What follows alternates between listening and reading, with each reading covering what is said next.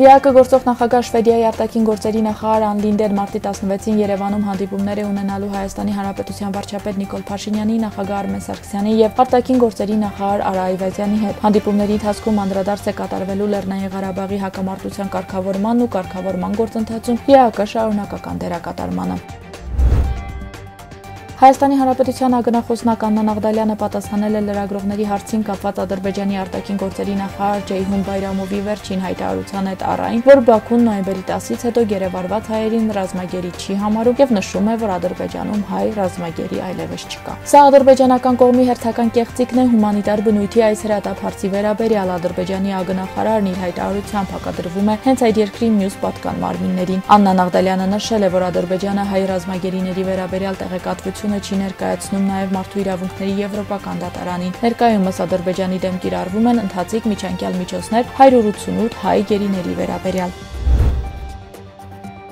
Գերիների ազատ արձակումն ու վերադարձը պարտադիր կատարման ենթակա միջազգային պահանջ է, այլ ոչ թե ադրբեջանական իշխանությունների բարի կամքը կամ նրանց լավությունը։ Այդ մասին գրել է Հայաստանի մարդու իրավունքների պաշտպանը։ Արման Թաթոյանի խոսքով գերիների ազատ արձակման հարցի բացարձակ հրատապությունը պետք է դիտարկել նաև Ադրբեջանում պետական աջակցությամբ հայատյացության քաղաքականության համատեքստում։ Վարչապետի պարտականությունները պետք է դրվեն անկուսակցական փոխվարչապետի վրա, այդ մասին գրել է Հայաստանի Հանրապետության առաջին նախագահը Լևոն Տեր-Պետրոսյան, որն է ելքը վերտառությամբ հրապարակման մեջ։